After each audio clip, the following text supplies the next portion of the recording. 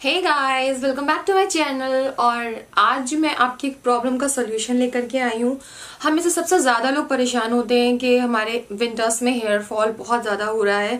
I mean hair fall तो हम सबको हमेशा प्रॉब्लम रहती ही है। लेकिन कभी कभी क्या होता है, ये प्रॉब्लम बहुत ज़्यादा बढ़ जाती है स्पेशली विंटर्स में, जब बाल हमारे हाथों में टूट टूट के, हमारी बेडशीट पर, हमारे पिलो पर बहुत ज़्यादा बाल आने लगते हैं। तब हम सोचते हैं कि शायद विंटर सीज़न है, सबको हेयर फॉल हो रहा है, हम सबसे बोलते हैं कि हेयर फॉल हो रहा है और लगता है कि हाँ सबको हेयर फॉल की प्रॉब्लम चल रही है बट हम इसे सीरियसली नहीं लेते हैं। बट प्रॉब्लम कब सीरियस हो जाती है कि जब हमारे, हमारी जो हेयर फॉल इतना ज़्यादा बढ़ जाता है कि फिर हमें अपने बालों को कोई भी हेयर स्टाइल करते हुए अजीब सा लगता है। लगता है कि हमारे सर में कुछ तो बाल ही नहीं रहे। शायद इन केस हम फ्यूचर में गंजे भी हो सकते हैं। तो फिर अब मैं बात करती हूँ उन लोगों की जो इसका सोल्यूशन ये निकालते हैं कि हम अपने बालों को लेंथ कम कर देते हैं। तो बालों की लेंथ कम हो जाएगी तो उनमें वॉल्यूम ज़्यादा दिखने लगेगा। फ्रेंड्स ये कोई सॉल्यूशन नहीं है। अपने बालों की लेंथ कम कर देना। अपने बालों को हेयर फॉल से कंट्रोल करने का कोई सॉल्यूशन नहीं है। आप लेंथ कम कर दोगे, इससे आपके बाल गिरना बंद नहीं होंगे। अब बात करते हैं कि हमें इतना एक्सट्रीम हेयर फॉल क्यों होता है फ्रेंड्स या हम सोचते हैं कि सभी को हो रहा है तो हमें भी हो रहा है।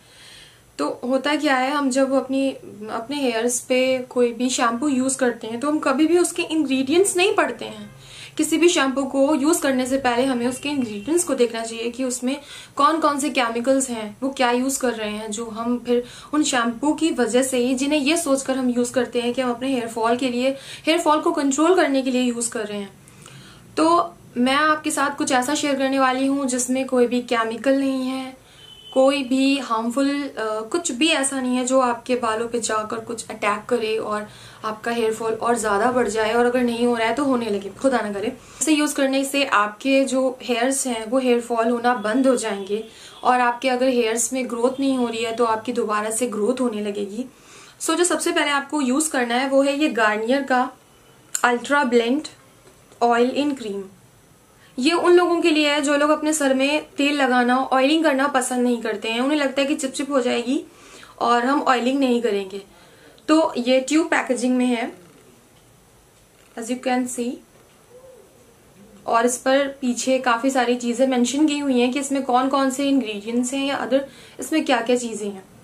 तो हम अपने बालों में तेल नहीं लगाते ऑयलिंग नहीं करते हैं। सबसे पहले हमारी यही गलती होती है और हमारे वालों को भी उसकी डाइट चाहिए, उनका फ़ूड चाहिए। तो ये उन लोगों के लिए है, जिन लोगों को ऑयलिंग करना पसंद नहीं है। ये एक अच्छा रिप्लेसमेंट है क्रीम रिप्लेसमेंट है। फाइव प्रीशियस हर्ब्स हैं इसमें green tea lemon henna aloe and eucalyptus इसमें ये फाइव इसमें प्रीशियस हर्ब्स हैं for healthy hair revitalize and nourishes hair with no stickiness इसको लगाने के बाद आपके बालों में कोई भी तरह की स्टिकनेस नहीं होने वाली है ट्रस्ट मी मैं इसे यूज़ करती हूँ और काफ़ी टाइम से यूज़ कर रही हूँ। तो ये पैराबीन फ्री है प्लस नेचुरल एक्सट्रैक्ट है इसमें। और revive your hair blends with natural extract revitalizing oil in cream इसमें पीछे बहुत सारी चीज़ें दी हुई हैं। इनमें क्या क्या चीज़ें, जो इंग्रेडिएंट्स हैं, वो सब दिए हुए हैं। इनमें कोई भी केमिकल नहीं है पैराबिन नहीं है। पैराबिन एक प्रेजर्वेटिव है। जो कि हमारे शैम्पूज हमारे मेकअप में यूज़ किया जाता है उन्हें, उनकी शेल्फ लाइफ को बढ़ाने के लिए अगर आप नहीं जानते हो पैराबिन के बारे में, इसे यूज़ कैसे करना है? एग्जैक्टली exactly आपको जैसे आप कोई भी हेयर ऑयल यूज़ करते हो, इसे सेम वैसे ही यूज़ करना है बिफोर वॉश आफ्टर वॉश अगर आप चाहते हो तो इसे आप ओवरनाइट भी यूज़ कर सकते हो और उसके बाद अगर आपने अपना हेयर वॉश कर लिया, उसके बाद आप इसे थोड़ी क्वांटिटी में लेके अपने स्कैल्प अपने हेयर्स पे यूज़ कर सकते हो और अपनी आईज से इसे थोड़ा सा बचा के रखना है, जैसे आप रखते ही हैं सारे। तो इसको यूज़ करना है आपको before shampoo and after shampoo हम बात करते हैं शैम्पू की। वो शैम्पू ये है। ये गार्नियर अल्ट्रा ब्लेंड शैम्पू है। इसमें भी फाइव प्रीशियस हर्ब्स हैं। Green tea henna aloe eucalyptus and second lemon okay तो ये शैम्पू है। आपको ये अपने शैम्पू को रिप्लेस करके इस शैम्पू को यूज़ करना है। और साथ साथ ऑयलिंग क्रीम के बाद इस शैम्पू से आपको हेयर वॉश करना है और ऐसे करके ये ओपन होता है।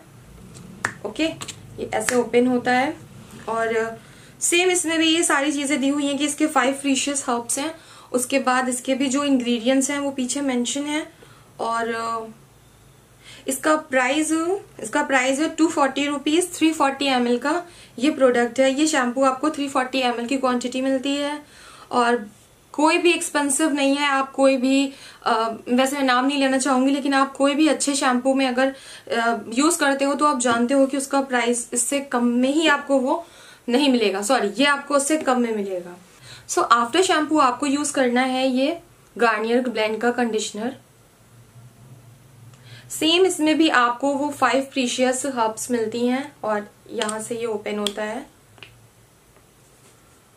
ओके okay, तो इस पर भी पीछे पूरे इंग्रेडिएंट्स की जो लिस्ट है वो मेंशन है और इसका प्राइस है one eighty five rupees for one seventy M L one seventy five M L और सेम uh, आपके हेयर्स को नरिशमेंट स्मूथनेस सिल्कनेस देता है और uh, तो आपको सबसे पहले यूज़ करना है ऑयल इन क्रीम अपने ऑयल uh, के साथ रिप्लेस करके आपको फिर शैम्पू के लिए इसी का शैम्पू यूज़ करना है और कंडीशनर की जगह आपको इस कंडीशनर को यूज़ करना है। इसको यूज़ करने से क्या होगा? आपका सबसे पहले तो आपके हेयर में जो इतने ज़्यादा सल्फेट और पैराबिन्स वाला शैम्पू आप यूज़ कर रहे हो तो आपका हेयर फॉल सबसे पहले तो उसी से कंट्रोल हो जाएगा, जो आपके सेकेंड जो ये है, आपका जो हेयर फॉल हो रहा है, आपके जो हेयर ऑलरेडी वीक हो चुके हैं, ये उन्हें रिवाइव करेगा, उन्हें नरिशमेंट देगा और आपको हेयर फॉल को कंट्रोल करेगा। तो ये मेरा आज का वीडियो था, जिसमें मैंने आपको बताया कि हेयर फॉल को आप कैसे कंट्रोल कर सकते हो easily with in one week और आई होप आपके लिए हेल्पफुल हो। अगर हेल्पफुल हो तो प्लीज़ मेक श्योर मेरे चैनल को सब्सक्राइब लाइक और शेयर ज़रूर करें। मिलते हैं फिर नेक्स्ट वीडियो में। तब तक के लिए टेक केयर अपना ख्याल रखें। Stay happy bye